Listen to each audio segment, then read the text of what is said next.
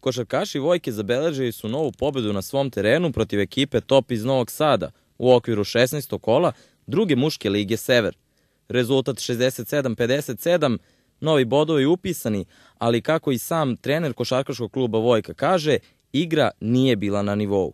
Svako ko je gledao utakmicu ko je danas bio u hali video je da, da ovo nema veze sa, sa onom igrom koju inače ovaj, prikazujemo u, nek, u nekim delovima. Znači danas nismo delovali kao ekipa, nego smo dobili utakmicu, slobodno mogu kažem, na neke pojedinačne kvalitete određenih igrača i na to što je svaki, ajde kažemo, 3-4 igrača su imala po nekih 4-5 minuta svojih solo ovaj, partija i to nas je danas izvuklo. Eto, da, definitivno danas nismo izgledali kao ekipa, bar u, u mojim očima. Trenera Vojke pitali smo na koji način planira da popravi igru svoje ekipe pred utakmicu 17. kola u kojoj gostuju Futogu.